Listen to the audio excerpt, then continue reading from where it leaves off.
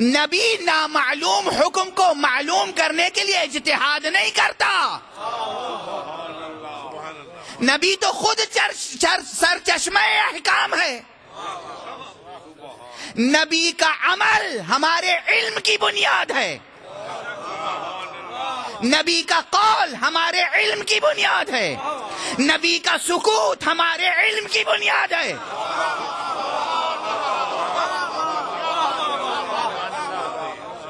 आप नबी को अपने बराबर करार दे रहे हैं। नबी का सुकूत हमारे लिए इल्मी दलील है। नबी का कौल हमारे लिए इल्मी दलील है। नबी का अमल हमारे लिए इल्मी दलील है। यानी नबी सरापा इल्म है। नबी को इश्तिहाद की ज़रूरत नहीं है। नबी को मुश्तहिद के दर्जे पर ना ले जाएँ। न मुश्तहिद नबी होता है, न नबी मुश्तहिद होता है।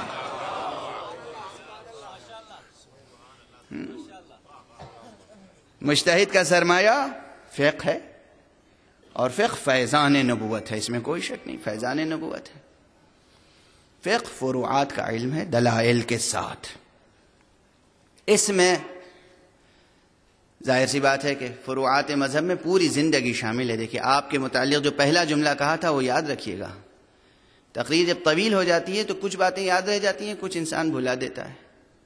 आपसे गुजारिश करने का मकसद ये है कि आप ये जाने कि फ़िक आपकी ज़िंदगी के मैनेजमेंट का इल्म है।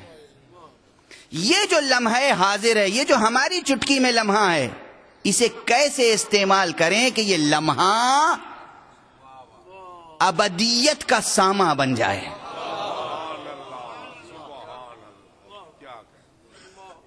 ये लम्हा इस वक्त जो ज़िंदगी हमें मैसर है, इसका इस्तेमाल कैसे करें कि ज़्यादा से ज़्यादा फ़ायदा उठा लें? यह शूर बेदार होना चाहिए ना?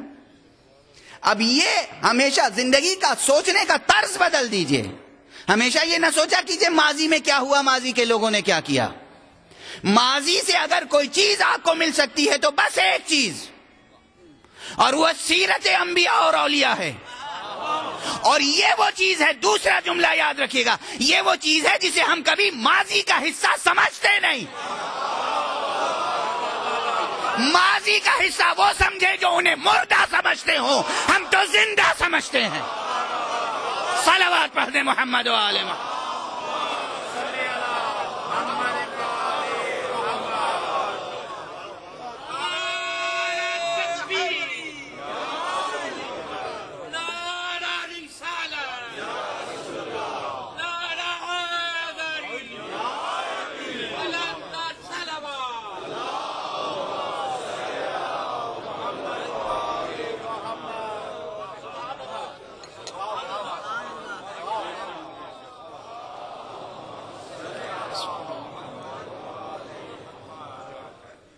जो लोग मर जाते हैं, वो माजी का हिस्सा होते हैं।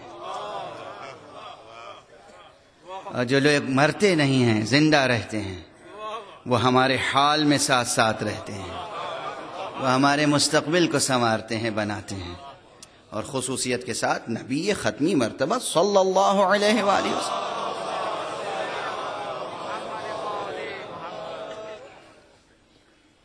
हुजूर को। देखिए, एक जुमला अर्ज़ कर रहा हूँ। अलबत्ता ये जुमला मुकर्र अर्ज़ कर रहा हूँ। मजबूर हूँ, बाज बातें ऐसी हैं जो आप तक पहुंचानी है। मुल्तान में, शाहगरदेज की इमाम बारगाह में मैंने ये जुमला कहा था कि हज़रत सल्लल्लाहु अलैहि वसल्लम पर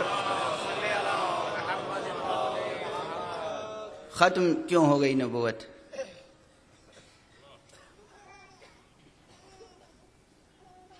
अब ये एक ऐसा मसला है जिसे आशिकान रसूल समझेंगे।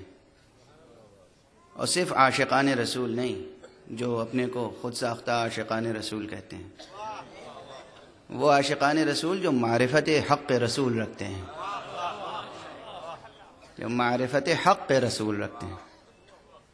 नबूत इन पर ख़त्म इसलिए हुई कि इनके अलावा किसी पे ख़त्म हो ही नहीं सकती थी। नबूत इन पर ख़त्म इसलिए हुई कि असलन हकीकत नबूत मुनहसर है ज़ात मुस्तफ़ा में।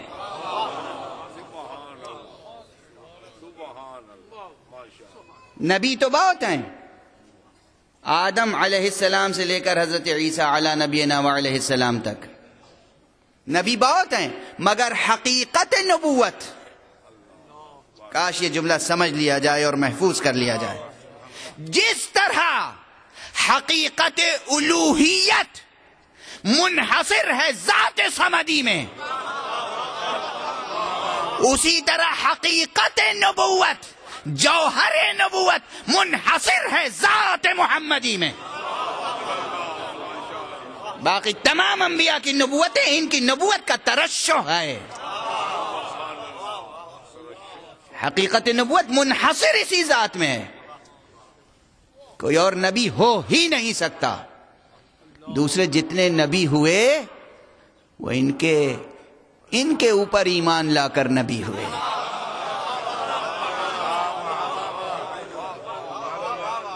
मौजू नबूवत नहीं है इसलिए बस इशारा करके आगे बढ़। रहा हूँ दूसरे जो नबी हुए हैं, वो इसलिए नबी हुए कि इनके वजूद मुबारक के बरक़ात उन तक पहुँचे। वरना हकीकत उलूहियत, जिस तरह मबूद बस एक है, बस एक है, दो हो ही नहीं सकता। वाजिबुल वजूद दो हो ही नहीं सकते। शुभ इब्ने कमूना बातिल है बातिल है, बातिल रहेगा। दो वाजिबुल वजूद हो ही नहीं सकते। एक ही वाजिबुल वजूद मुमकिन है। इसी तरह नबूवत की हकीकत मुनहसर है ज़ात मोहम्मदी में। कुल नबूवत ज़ात मोहम्मदी में। इसलिए इन्हीं पर ख़त्म हुई और इसलिए इन्हीं पर इन्हीं से शुरू हुई। शुरू भी तो इन्हीं से हुई। इन्हीं का तो इरशाद है कुन तो नबीन व आदम तीन। मैं उस वक्त नबी था जब आदम आबो गिल के दरमियान थे। इनसे नबूत शुरू हुई, इन्हीं पे नबूत खत्म हुई। जब हकीकत नबूत मुनहसर है इनकी ज़ात में। तो ये हामिल इल्म इलाही हैं खजीना दार इल्म इलाही हैं खजीना दार मशीयत हैं। वे इल्म इलाही का नाम मोहम्मद है। जरफ मशीयत इलाहिया का नाम मोहम्मद है। मोहम्मद मुजतहिद नहीं है। इजतिहाद का आगाज़ जहल से होता है। ये वही समझेगा जिसके अंदर समझ बूझ हो। बात ही समझ बूझ की हो रही है। बात ही फ़िक की हो रही है। ये फ़िक। ये फ़िक जो हमें मिली है, आ, हज़रत सल्लल्लाहु अलैहि वसल्लम से। यह आपकी पूरी ज़िंदगी के मैनेजमेंट के लिए काफ़ी है। हाँ इल्म हासिल करें, इल्म हासिल करें। कैसे काफ़ी है? अब एक एक ज़रा सा मोड़ दे दूँ और आज की गुफ्तगु को मुख्तसर करके कल के लिए गुफ्तगु को मुतवक़ करूँ। हमारे यहाँ एक बड़ा मसला है। जहाँ जाता हूँ, ये मसला छेड़ दिया जाता है। कि साहब, ये बताइए कि ये तकलीद क्या चीज़ है?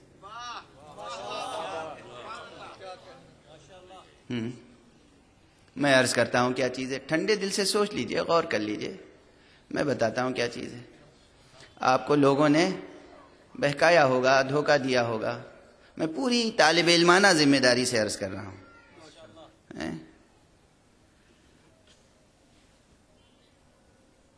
तकलीद का लफ्ज ज़ाहिर है कि वो ऐसा है जिससे थोड़ी सी वहशत होती है। तकलीद का कलेमा है ऐसा कि उससे थोड़ी सी वहशत होती है। क्योंकि उनको समझाया जाता है कि तकलीद इसी रूट वर्ड से कलादा भी है। कलादा कहते हैं गुलूबंद को। हैं? वो समझते हैं कि ये कोई गले का फंदा है। तकलीद कोई गले का फंदा है जिसमें इंसान फंस जाता है। तकलीद गले का फंदा नहीं है। लफ्ज से वहशत न कीजिए, अब इसकी टेक्निकल डिफिनेशन समझ लीजिए। और देखिए कि इसकी ज़रूरत है या नहीं है।